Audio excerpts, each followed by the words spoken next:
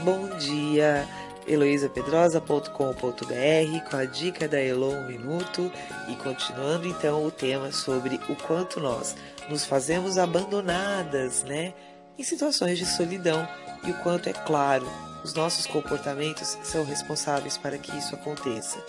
Eu, como tenho comentado a respeito da saga das amizades, eu também hoje quero falar a respeito daquela necessidade que, por razão X, você tem de querer dizer sempre a verdade para as pessoas. Às vezes as pessoas simplesmente chegam e querem conversar num formato de desabafo. E aí você, como a dona da verdade, simplesmente decide que precisa dizer a verdade, custe o que custar aquela pessoa.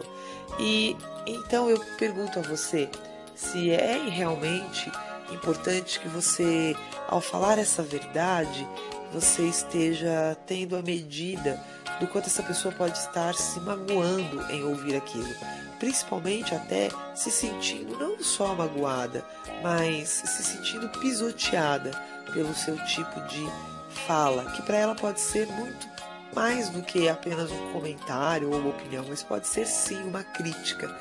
É, tome cuidado. Às vezes as pessoas estão sim com recursos muito diferentes dos seus e elas estão num mundo em que elas dão conta no tamanho dos braços e das pernas que ela tem. E não porque ela tem os tamanhos de braços e pernas que você tem. Enxergar o potencial dos outros é bárbaro, mas fazer com que a pessoa enxergue o seu próprio potencial, bem, aí já é outra história. Então, esta semana, preste bastante atenção no quanto você pode ter este traço de falar a verdade, custe o preço que custar. Eu quero que a pessoa saiba, eu gosto muito dela, mas é pro bem dela. Tenha cuidado.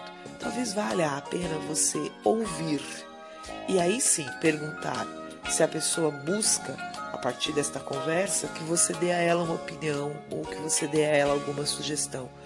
Caso contrário, tenha o hábito do silêncio e do sorriso para que as pessoas possam a partir do momento que conversam com você, talvez não ouvir você, mas ouvir a si mesmas, que já é uma grande e, e forte é, ação terapêutica. Tá ok? Então, a dica de hoje é essa. Faça perguntas, gostou, curta, compartilhe, participe do meu trabalho que é o canal do YouTube do Entre Mulheres TV, ok? Então, o mantra de hoje: Eu sou poderosa, eu sou a mulher que realmente cuida de mim mesma. Eu tenho a força que necessito para ser feliz. Um beijo grande.